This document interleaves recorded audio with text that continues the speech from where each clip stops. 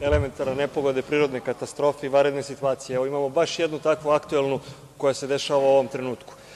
Gospodine ministre, ne znam da li ste upoznati sa dešavanjima na Staroj planini, odnosno u selu Rakita, gde očigledno neki ljudi u ovoj zemlji shvataju da sva prirodna bogatstva i prirodni resursi trebaju da pripadnu njima, pa je tako jedan investitor, izvesni Goran Belić, našao se pametan da otima reku i od građana Srbije i od lokalnog stanovništva. Ali to nije ni najgore što se u ovom trenutku dešava, već dva dana, odnosno već 24 časa, juče i danas, tamo je bukvalno opsadno stanje gde privatno obezbeđenje, a imamo i Zakon o privatnom obezbeđenju baš kao temu ovog dnevnog reda, privatno obezbeđenje pomenutog investitora je uzurpiralo i okupiralo privatni posed jednog meštanina i ima i video snimak, preti fizički da će polomiti glavu, naziva pogrdnim imenima lokalno stanovništvo. Uzurpirali su čoveku posed, otimaju reku od građana, a nažalost policija ništa ne čini da to spreči. Zašto policija ne postupa po zakonu? Ko u ovoj državi ima pravo da otima reke, reke koje pripadaju svima nama?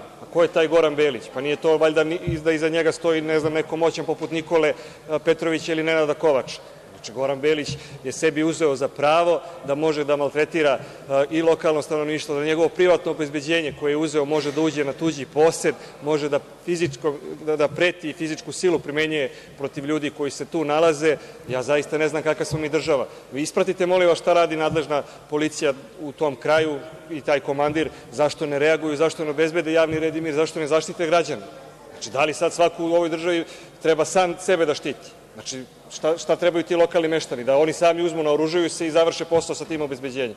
Jer smo došli na divlji zapad i na hajdučiju. Zamislite da neko meni dođe na takav posed i da mi preti da će da mi razbije glavu, pa ja imam svako pravo da izvadim oružje i da pucam u njega.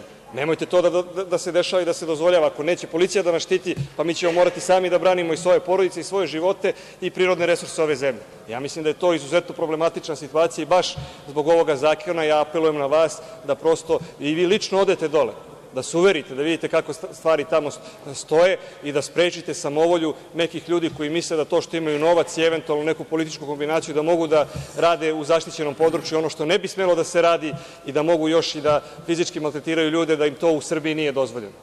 Ovo je jedan veliki problem, akutni problem i nemojte da kažete da niste bili obavešteni.